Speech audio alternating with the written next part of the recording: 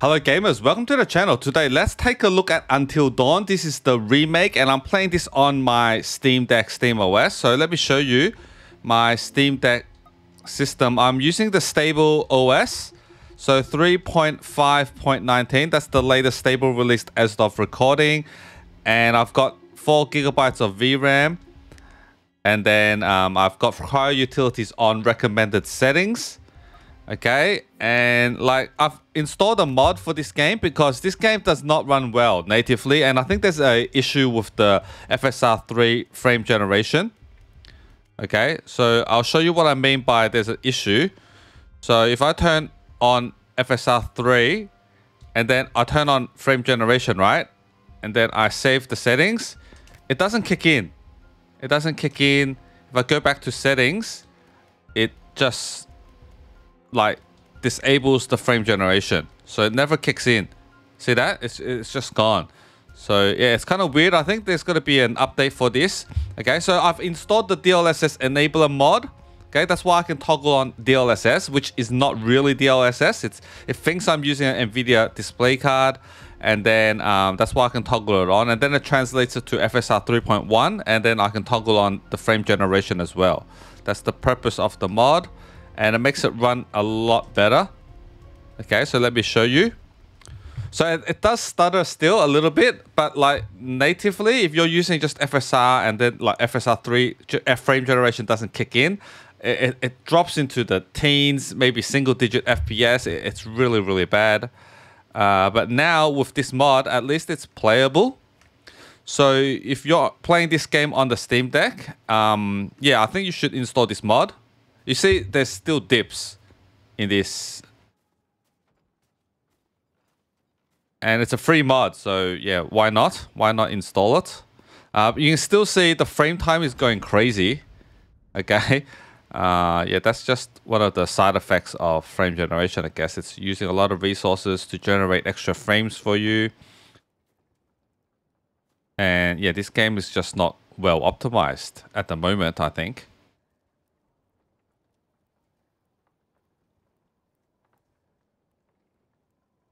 Okay.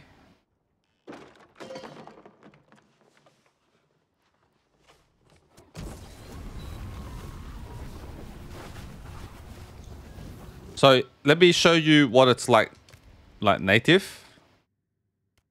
Okay, so here's my settings. Windowed 720p, frame limit off, camera aspect ratio 16 by 9. And then the graphic quality preset set to low. Okay, I turned off motion blur, turned off film grain, chromatic aberration, bloom, turn all that off. Okay, and then if I just use FSR3 performance and I'll try to turn on frame generation, which won't, won't work. Okay, something like this. Here's what it feels like. See that? The graphics look a little bit worse too. See how it's a little bit more pixelated? And look at look at the frame frame rate at the top left. Like 10, 20, and it stutters. It, it, it's just not good. Okay, let's do safe. Oops.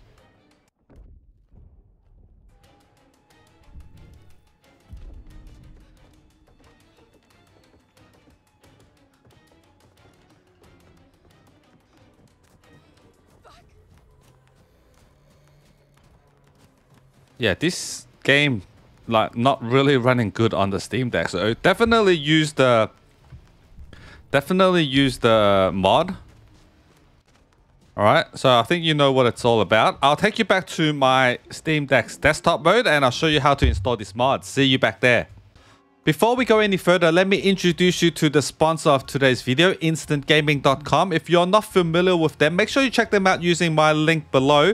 They're a gaming website that offer games on all platforms, so PC, PlayStation, Xbox, and Nintendo, and they offer big discounts. So if you want to buy games cheap, make sure you check them out. And they can do this because they buy the games directly from the game developers, cutting out any middleman, and they buy in bulk, so they negotiate deep discounts. One of the games I'm really interested in right now is Star Wars Outlaws because I'm a big Star Wars fan. But after reading the reviews, uh, I'm not sure if I want to buy this game at full price. But right now it's on instantgaming.com with a 49% discount. So yeah, at this price, I'm kind of tempted. I'm also their official partner. So check out my dashboard. So it's a win-win-win situation. For Instant Gaming, they get their promotion. For me, I get my sponsorship. For you guys, you get to buy games cheap. And also, because I'm their official partner, I do get a little kickback for every single game that you guys purchase using my link. And if you take a look, a lot of people have been using my link to buy games already. So I'm getting a little kickback. Okay, a lot of games. So thank you guys for supporting me. It supports me every time you buy a game using my link. I get a little kickback. And also, because I'm an official partner, Instant Gaming offers my viewers a chance to win a game every single month. So last month, uh, we did a giveaway and Yosha won and he chose the game. Like when you win, you get to choose the game of your choice on your platform. And he chose God of War. Okay, and you have to participate every single month. So this month, if you joined last month and you didn't click join this month, make sure you go and click on my giveaway link and participate. The next giveaway is in 25 days. So make sure you join that. You know, it's a win for you guys. Thank you, Instant Gaming, for sponsoring me. Okay, so welcome back to my Steam Deck's desktop mode. The first thing you want to do is you want to locate your game folder. Okay, mine's a non-Steam version, so my game is right here in my games directory that I've created until dawn. For you, if it's a Steam version, it's normally in your common directory, so locate that. And then inside here, you'll see a Windows directory, Bates, binaries, Win64, and here's the directory that you want to put all your mod files. And second thing you want to do is download the mod. So I'll link this in the description for the DLSS enabler mod. It's a GitHub page. So depending when you're watching this video, uh, the version might be different. Okay, but for this video, I'm going to be using version 3.02.000.0. This is the latest stable release. If you want to be adventurous, you might want to check out some other versions. All right, I know 3.03 is out. It's an alpha pre-release. So if you want to be adventurous, you want to try out different versions of the mods, uh, feel free. Okay, but I'm going to use this one and then go to assets and download the exe. Okay, just wait for it to download. Okay, I'm going to wait for it in my downloads folder. So this is my downloads folder. It should be ready soon. Okay, so it's an exe. Right click it and then add to Steam.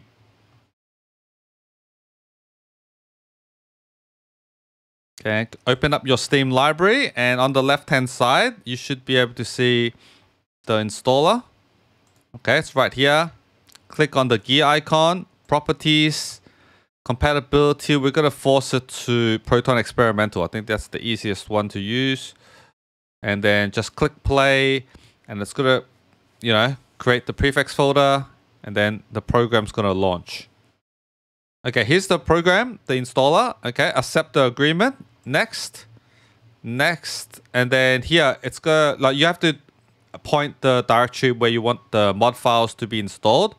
Okay, you can point it directly to your game folder, or I like to do this. I like to just like here in my downloads folder, I'm going to copy the name of the version of the mod I'm using, and then I'm just going to create a new folder and then paste the name.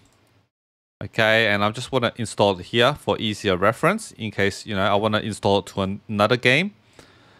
Um, go back to the... Oh, oh, here it is. Okay, so let me show you. This is just a blank folder. Okay. Okay, and then browse.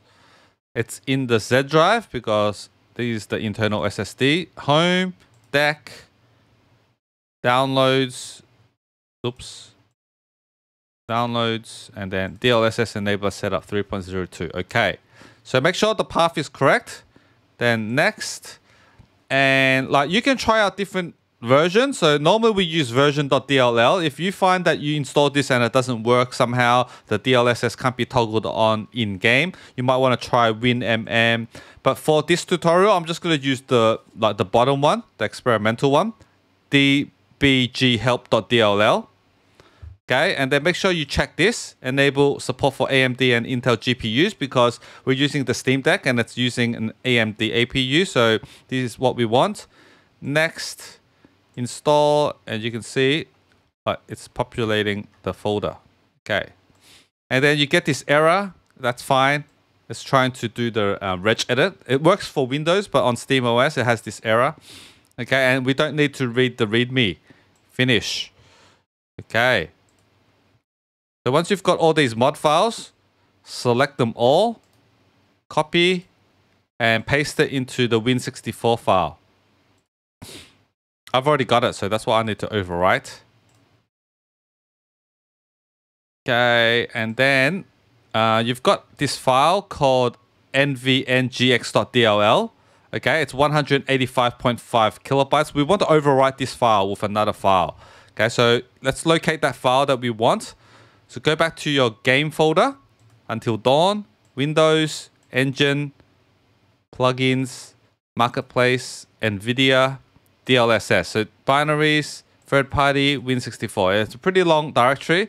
This is the file we want, the 48.9 megabyte file. Copy it. And then just paste it here and rename it to nvngx.dll. Oops. .dll. Okay.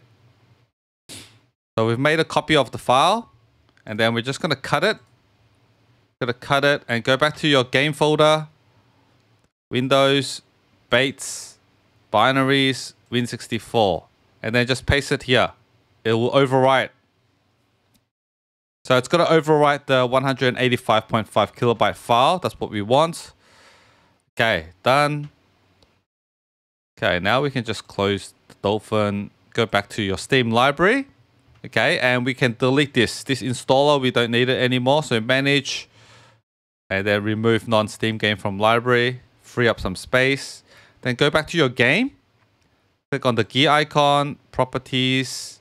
Okay, and make sure you add this launch options. Okay, I'll, I'll paste it onto the description so you can just copy and paste. So wine DLL overrides equals uh, open quotation dbg help equals n comma b close quotation mark space com uh, percentage command percentage. Um, so depending on what version of the mod you're using, so if you're using version.dll or winmm.dll, you have to change this. Okay, so if you're using version.dll, change this to version. If you're using winmm.dll, change this to winmm. Okay, I think you get the point. And then now let's test the game. So let's run the game, and if in game we can toggle on the DLSS settings, then the mod is working fine. So if you're liking the video so far, make sure you hit the thumbs up button and subscribe to the channel if you're new. Okay, so I'm playing this on Windows. So when you uh, launch the game with the mod, uh, for the first time, normally it would recompile the shaders.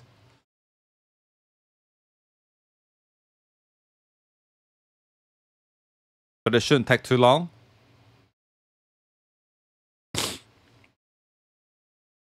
Okay.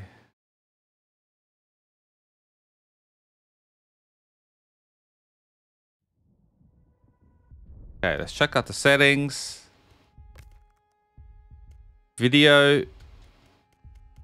And then let's scroll down. Okay, you can see here, DLSS.